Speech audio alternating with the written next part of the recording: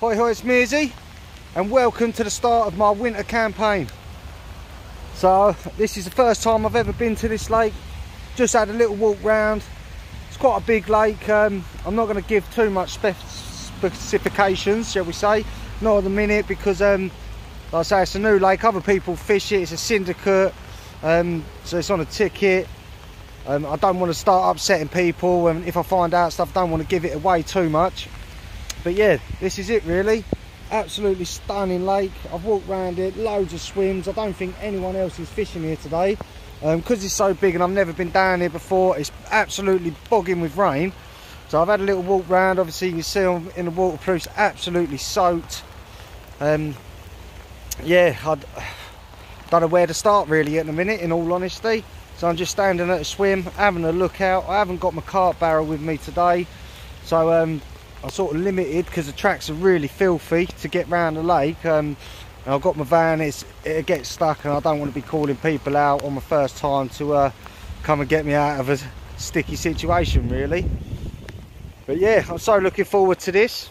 I've been wanting to fish this place for a couple of years now and decided to take the plunge and uh, actually start doing a session on it. So we're in October now, it's late October and I've got around till about March I think it is, the end of March, beginning of April um, to actually pull a carp or two out of this lake. Now, it's a very low stock and it's a very hard lake.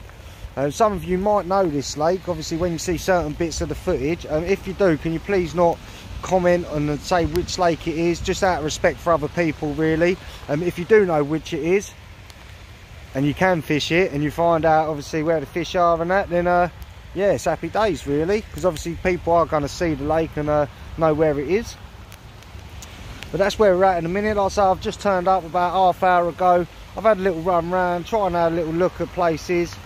Um, yeah, um, I don't know where to start. I haven't seen anything yet. Like I say, I've only been here a couple of minutes, really, half hours, nothing. Um, this is my first session. I'm just doing a little day session because uh, work's been cancelled. Uh, I'm supposed to be doing some slabbing. Obviously, I can't do it in the rain, so I thought, why not jump down the lake that I paid for uh, have a look round. Might get a rod out today. I'm not sure yet. I say it's uh, about 9 10 o'clock in the morning. I've only got till about four this afternoon so i haven't got much time whatsoever and i'm not holding out to catch a carp today to be honest. It's more of uh, having a look round see if i can see anything see if i can see any signs of where the carp might be holding up because it's uh, in the winter. But what i'm thinking about doing is getting the old marker rod out having a mark around in a couple of swims seeing if I can find any good features, any uh, depths or anything like that. Uh, yeah, really. So it's a blank canvas for me. I've seen a couple of videos on YouTube and out of this lake and it is steep in carp history, this lake. Um, I don't want to go into too much detail because it will give it away straight away. Um, yeah, and that's where we're at really. So I'm literally just going to keep looking out, seeing what's going on. Hopefully we see a couple of signs of a fish and that might set me up for my next session really. So yeah that's where we're at in a minute. I can't do too much recording because it's absolutely raining. And um, i've only got my phone. I always record on my phone. I, I don't want to break it because i run my business through that as well. So yeah that's where we're at. I'm going to keep looking. I'm going to have a little walk round get the marker rod out have a little thing see if i can see any features. Um yeah and we'll go from there really. Speak to you all soon. All right so why stop raining I thought I'd quickly show you how I'm approaching this venue for the first time. Uh, like I said, I can't get around the whole lake with my van. It's quite a big lake um, because the tracks are absolutely filthy. I've already said that. Uh, I haven't got my cart barrow, you know, it's my own fault. So I'm sort of not put the odds in my favour on this session. Like I say, it's my first session, only a day session. Really, it was more just to get a look at the lake and see what it's like, really. So what I've done is I've got a rod out there already just one rod. I've chucked it out there. How i normally fish on every other venue that i've fished. So i've just chucked that out there. Um, i won't go through the rigs and that just yet. If i catch obviously I'll, I will let you know a little bit. But yeah so i've chucked that one out there. Hopefully that one goes off. And then while i'm sitting here i'm going to cast around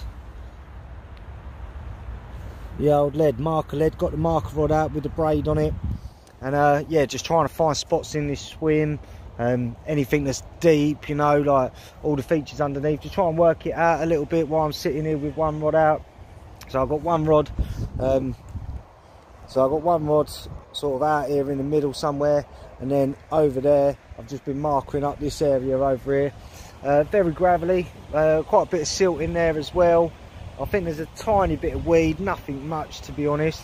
So it's um, chucking about here, there's, it's going to be quite presented most of the time. And yeah, and that's how I'm approaching the first venue, uh, first time at this venue, my first winter session. I know obviously it's not really ideal, really what I should have done is bought a cart barrow and that and just keep walking the lake and find out, but I'm only here, I don't know, it could be one o'clock, two o'clock today, so it's like five, six hours, very, very max. So um, yeah, that's how I'm approaching my first day, just to get the feel for the lake, see what it's like. Um, yeah, and that, that's where we are at the minute. What I'm going to do is I'm going to make myself a cup of tea. I have brought my little stove and that with me today. I'm most probably going to chuck another rod out there, just sit back for a couple of hours. Well, put two rods out there, sit back and uh, just cast, do a bit of markering up really. Um, yeah, that's how I'm approaching my first session. Let's hope, you never know, we could have something, eh? Uh, I've got two rods out there in a minute. Got a bit of markering around, chucked a little bit of bait out. Still blowing a gale, it's quite rainy, so I've resulted to not setting the bivvy up and just cooking, well, making a cup of tea inside the van really at the minute. Um, still got the waterproofs on. Had a couple of little beeps, but I think it's just the wind. Yeah, that's where we're at. Come on. People say, Dan, you must be crazy fishing in the rain. My answer, you must be crazy working in the rain. That's it. I'm here four hours into the session so far, and I've just changed swims. Got a bit closer to the island because I was miles away from it, and uh, it's looking quite carpy around there, to be honest with you. It was a bit uh, hit and miss getting around here with the old van. You know, slipping and sliding over the mud, and oh yeah, I was a little bit panicky, to be honest with you.